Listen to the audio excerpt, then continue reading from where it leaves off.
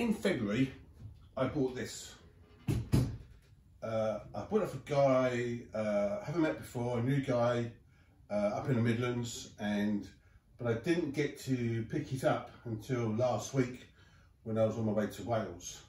And um, I'm a big fan of Gerry Anderson, Thunderbirds, Captain Scarlet, that kind of thing. And apparently, the Captain Scarlet fruit machine, they only made about 30 of them.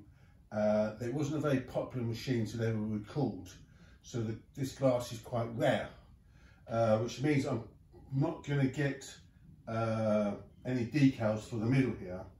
But um, Ben, who I was talking to, who's got Ramsey and Williams uh, shop in Margate that does some of my bits and pieces, said about putting a mirror behind and you can get this uh, plastic mirror, which I'm going to get a sheet of that and put that behind. Um, I can put some buttons in here, but I've got some rather big ones here to go, which I'll have to um, probably speak to my laser guy to cut me some plastic discs or something, uh, and then put a button on from there. But lovely graphics, Captain Scarlet, big fan. I think when it's done, uh, it's going to be a table. Uh, it's going to look fantastic. And uh, as ever, when it's done, it'll be on the website and you can see it there.